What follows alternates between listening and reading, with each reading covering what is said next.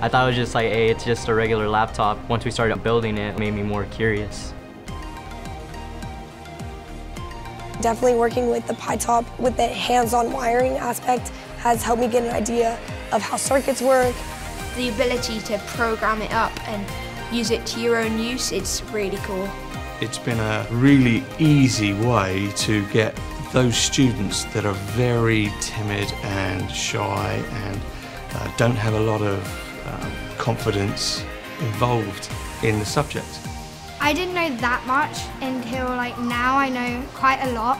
Learning by making also lets them collaborate more. So rather than working on the set of problems individually, they can talk to each other, they can share what their ideas are.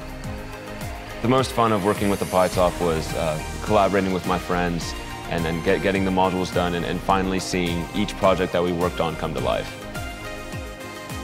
It's such a great invention and I think that it could really revolutionise the way kids think of computing and how it's a lot more usable and a lot more accessible. The best thing about bringing pi-top into my classroom is that it just opened up my students' minds to the possibilities.